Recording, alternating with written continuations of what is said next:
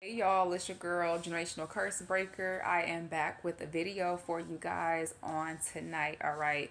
So I wanted to talk to my ladies out there, okay? So ladies, all right, this is the question. Should you, as a woman, make the first move towards a man?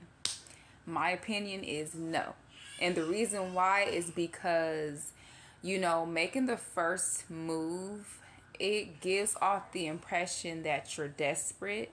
You feel me? And you don't want that to be um you don't want that to be what he's thinking in his head. You feel me? Like, oh, she came to me first, so you know, she must really need me. You know what I mean? So don't ever make the first move as a woman. Let a man approach you first. Let a man um, pursue you first and then you know make sure that the ball always stays in your court you feel me?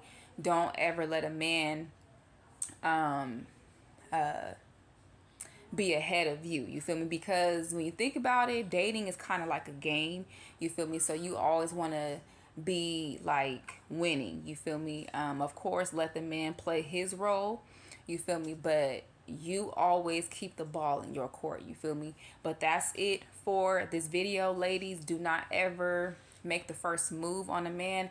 Let him do that okay? And then go from there. All right it's your girl generational curse breaker. I love you guys. Peace and love